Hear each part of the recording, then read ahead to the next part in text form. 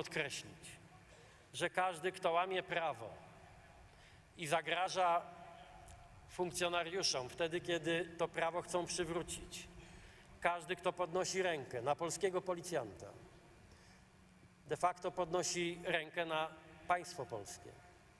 Każdy, kto obraża policjantkę czy policjanta na służbie, obraża majestat Rzeczpospolitej.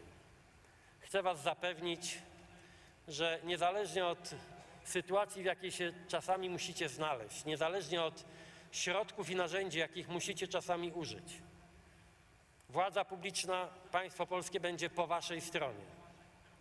A ci przestępcy, ci, którzy naruszają prawo, ci, którzy godzą w bezpieczeństwo obywateli, a często także w bezpieczeństwo tych, którzy noszą mundur, muszą wiedzieć, że nie pozostaną bezkarni.